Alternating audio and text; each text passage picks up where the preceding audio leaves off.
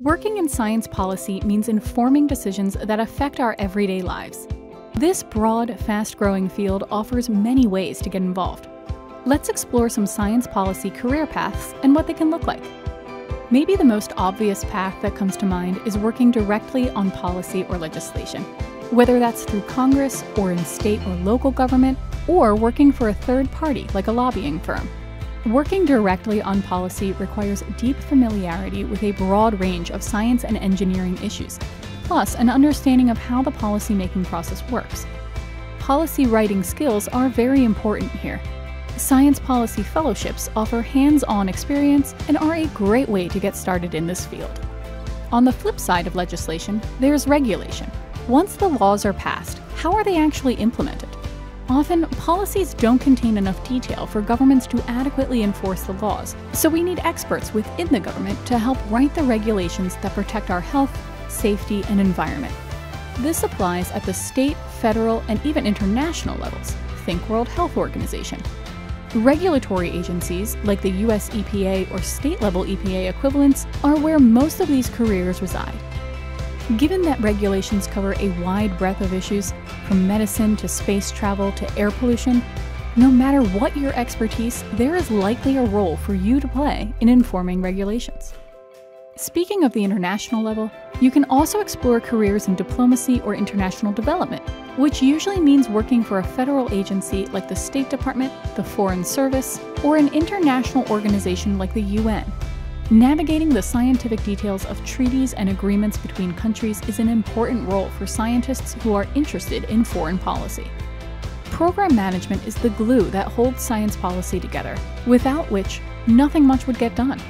These jobs focus on how decisions involving science are being made, how funding is distributed, and how these programs function.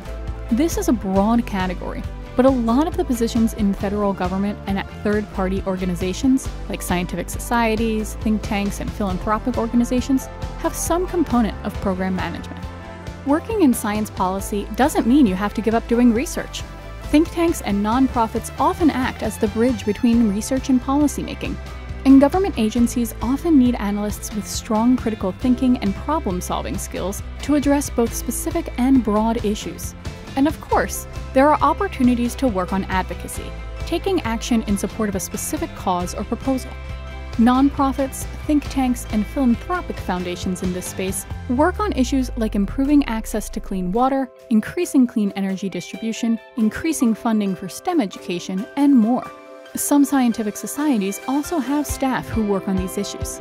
Depending on where you end up, Having strong science communication, relationship building, project management, and collaboration skills may be relevant.